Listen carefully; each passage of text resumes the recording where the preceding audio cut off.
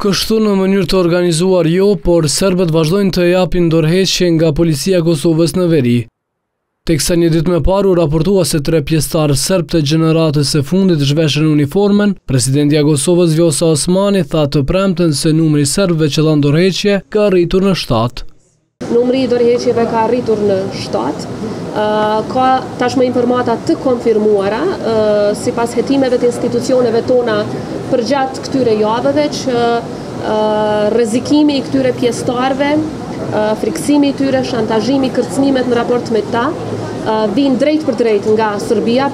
Po ashtu sipas presidentes me presionin që presidenti Aleksandër Vuçiq po ushtron mbi serbët e Kosovës, po i shkel marrëveshjet e Brukselit. Unë pres nga Bashkimi Evropian që të ndërmarrin masa ndaj Serbisë dhe presidentit Vuçiq për këtë shkelje të marrëveshjeve të Brukselit dhe do thosha edhe shkeljeve të standardeve ndërkombëtare për mbrojtjen e të drejtave të njeriut.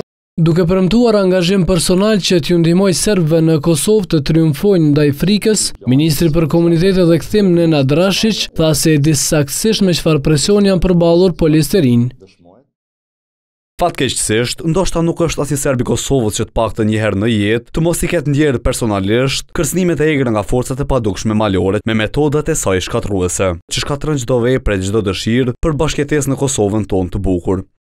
Për largimet e fundit të policëve serbë nga Policia e Kosovës ka reaguar edhe ministri i Brendshëm, ndërsa kryeministri Albin Kurti nuk iu përgjigj pyetjeve të gazetarëve për këtë çështje. E për çështje tjera jashtë efiçiencës që s'po ju intereson, deklarohemi gjatë ditës sot. Kryeministri janë tërhequr 3 policë. Rreth 600 policë serbë në katër komunat veriore patën dhënë dorëheqje nga Policia e Kosovës në nëntor të vitit të kaluar, si shenjë proteste ndaj vendimeve të qeverisë.